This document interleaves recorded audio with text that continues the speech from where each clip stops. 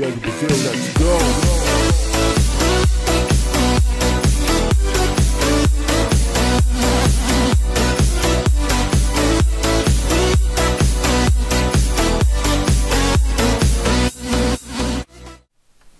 So what's poppin'? It's your DJ Diego Brazil. I hope the pride's good. So for this video is bibigyan ko kayo ng 5 easy tips and tricks for songwriting and composing. So sa mga hindi pa nakakilala sa akin, I am Diego Brazil, a music student from the University of Baguio. Isa po akong DJ, music producer, recording artist, at beatmaker. Sa mga aspiring musicians, songwriters, and composers dyan, isa sa pinaka-importante ay yung kaya mo magsulat ng sarili mong kanta. Paano masabi? So sa mga nahihirapan o nagsisimula pa lang na magsulat, is bibigyan ko kayo ng 5 tips in songwriting na makakatulong sa inyo. So tip number 1. So ang unang tip ko sa inyo is learn your figure of speech. Pero ano nga ba ang figure of speech? Ang figure of speech ay yung mga salita o phrases na iba yung meaning niya doon sa literal na definition niya. What? Gets mo ba? Eto, bibigyan kita ng example. She broke my heart. Kung bihirin tayo sa huli, oh yeah Awatin ang sarili na umibig pa muli Well, doon sa sentence na yun, hindi naman niya talaga sinira yung puso. Kumbaga, meron siyang ginawa na nakakasakit o nakakalungkot.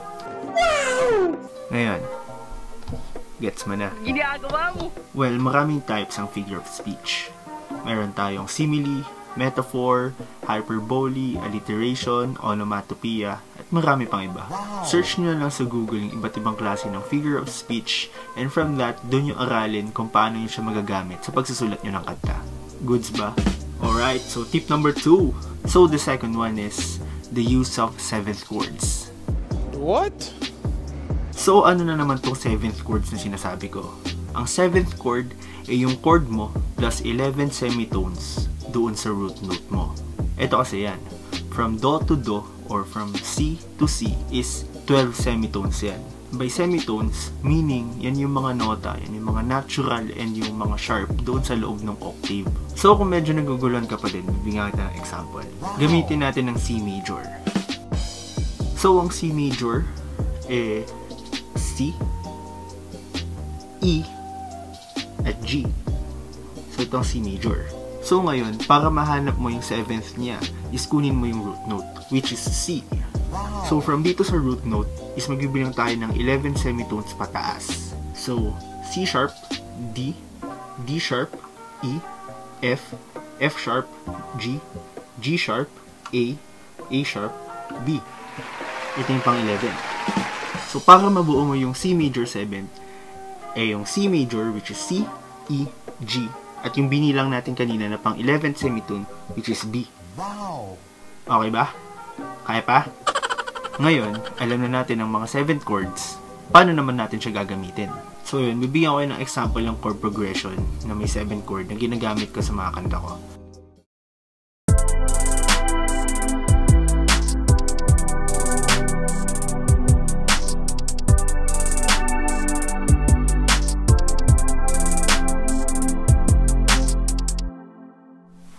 So yun, 7th chord. Off to tip number 3. So tip number 3 is a shorter second verse. So for example, yung first verse mo ay 24 bars. Yung second verse, pwede mong gawing 18 bars lang or 20 bars. It's up to you. So ano nga na naman ng bars? Oh my God! Well, karamihan naman ng kanta ngayon is nasa 4-4 time signature. So, bilangin natin yung beat sa apat. So, 1, 2, 3, 4. Isang bar yun. Well, dito sa tip na to, pwede din pumasok dito yung tip na ibahin mo yung style ng second verse mo dun sa first verse. Like for me, personally, majority dun sa mga kanta ko is magkaiba yung style ng first verse sa second verse. First verse, um, may rap, and then sa second verse, dun ako kumakanta. Well, it's for the reason na hindi maging predictable yung kanta mo. Kumbaga, mas magiging exciting yung kanta mo kasi unique yung first verse and unique din yung second verse. So, bali yun lang naman sa third tip.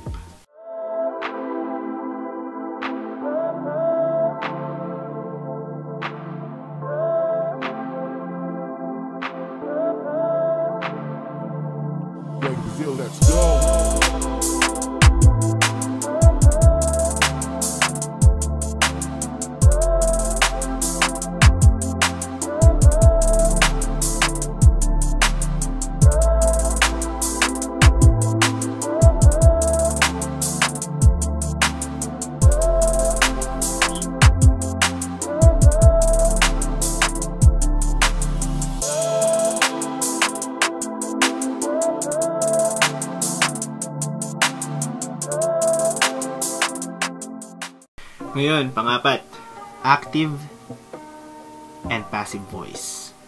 Ano na naman tong active and passive voice na to? So, ang active voice is yung meron kang subject na nag-act upon doon sa verb niya. And ang passive voice is yung subject ang tagatanggap. Medyo malabo yung pag-explain ko, pero bibigyan ko kayo ng example para mas maklaro natin siya.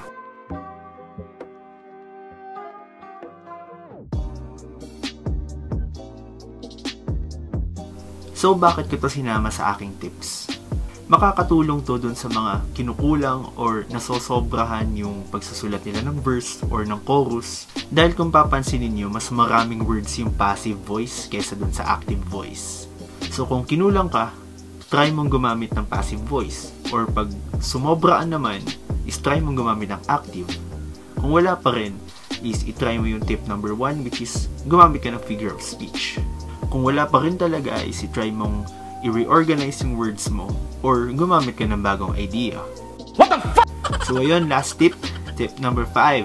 So tip number 5 is mag-take advantage kayo dun sa hook ng kanta. By hook, meaning ito dapat yung pinaka-catchy. So dito sa hook ka dapat gumawa ng melody or ng words na alam mong masastock sa ulo ng listener mo.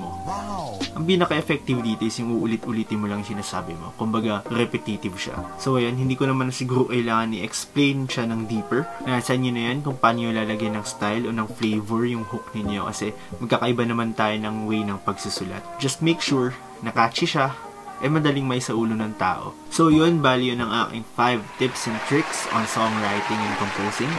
So bago ko tapusin ng video, big shout out sa Money on Streets. Ayan. Ah, i-design din siya sa likod. Ginagawa mo! Yun. So maraming salamat sa pa-t-shirt ng Money on Streets. Kung gusto nyo itong design na suot ko ngayon, or I think may mga nakapost pa na design dun sa page nila, so ilalagay ko na lang sa description yung link ng kanilang shop. So that's it for this video. Sana ay natulungan ko kayo. Kung meron o gusto man kayong i-share about songwriting, pwede nyo siya i-comment sa baba. So don't forget to give a like, subscribe na rin kayo, ring na rin yung bell para ma-notify kayo kung may bagong upload. So maraming salamat! So the party's down, sober up, cause the DJ's out.